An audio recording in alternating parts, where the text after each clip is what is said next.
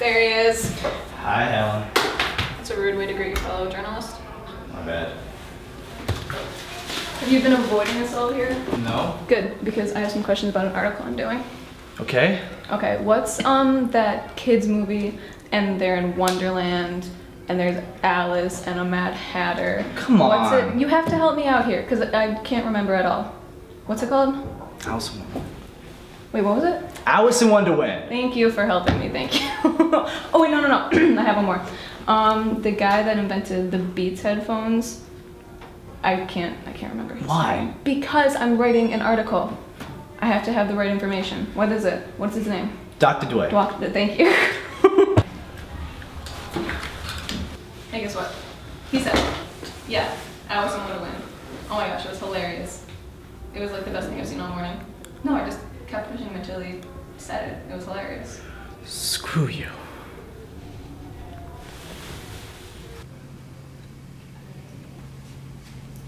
It's total bullshit.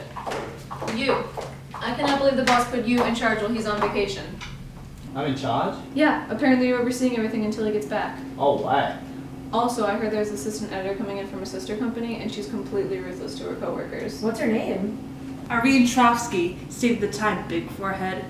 You're the boss man for now? Uh, yes, ma'am. Wadney Wiley. Nice to meet you. what an embarrassing list! You're in charge?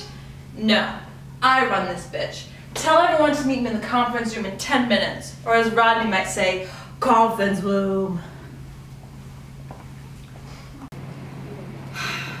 All right, butt munchers, why don't you tell me where you're at with the deadline?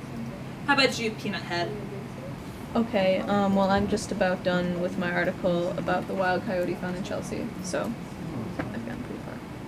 Great. Let's just be thankful that the coyotes don't have a taste for peanuts, otherwise you'd be decapitated. William, where you're at? Well, I'm almost done with my article about the Knicks' terrible season. I just need to get one more quote from Phil Jackson. Great. You look more like a crazed fan than a journalist. Rodney?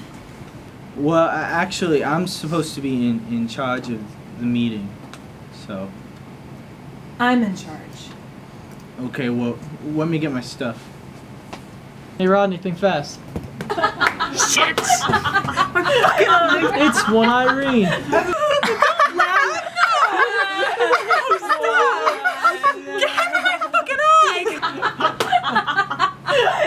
Everybody, stop laughing!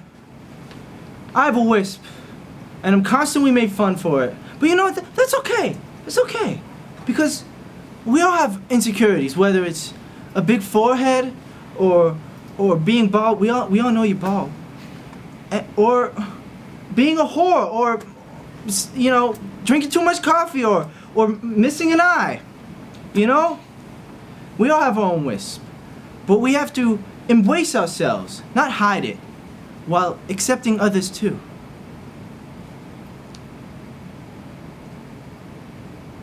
I don't, I don't really I don't really know what to do now. Uh, I might I, I think I peed my pants.